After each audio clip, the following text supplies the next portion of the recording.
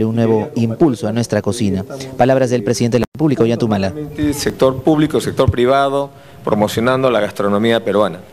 La gastronomía peruana eh, es un elemento cultural que nos identifica como país, porque somos un país megadiverso, y no podía ser de otra manera en un país con una realidad tan variopinta y tan rica, donde tenemos los valles amazónicos, las quebradas altoandinas y las planicies eh, costa, los arenales, sus valles, que el Perú puede ser un país bendecido en recursos naturales. Y eso origina justamente la riqueza de nuestra gastronomía, que a donde vayamos encontraremos un plato típico, distinto a otro pueblo, y cada plato peleando en su calidad, en su sabor, y que todo esto podamos hoy día ponerlo a disposición de toda la población del Perú y también internacionalmente, lo que hace por su propio peso de que el Perú, de que el Perú y Lima particularmente se considera la capital gastronómica de Sudamérica donde ya hoy día se viene haciendo el turismo gastronómico. Y esta cultura, estos saberes de, nuestro pueblo, es, está, no, es transversal a las clases sociales. Está en las familias eh, del interior, en las familias de la costa y en todos los niveles socioeconómicos. Porque al peruano y a la peruana le gusta comer bien, le gusta comer de calidad, le gusta comer rico.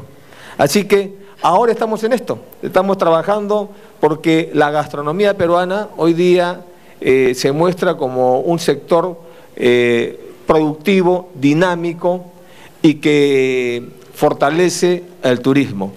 Yo saludo que hoy día los comedores populares estén presentes aquí. Es un avance dentro de la política de inclusión de tener a nuestros comedores populares porque son estas, estas eh, cocinas populares, son estas amas de casa que se agrupan en un colectivo y que sacan adelante a nuestras familias, a nuestros hijos, comiendo bien ¿no? y comiendo rico, comiendo calidad. ¿Quién mejor de ustedes saben sacarle el provecho a cada, a cada producto? Y esos saberes vienen heredándose de generación en generación. Es la receta de la abuela que pasa a la madre y pasa a los hijos, es esa vieja receta, esos platos que hay que rescatarlos nuevamente porque son eso lo que nos permite identificarnos como una cultura rica, una cultura que sobresale en la gastronomía con otras culturas de la región.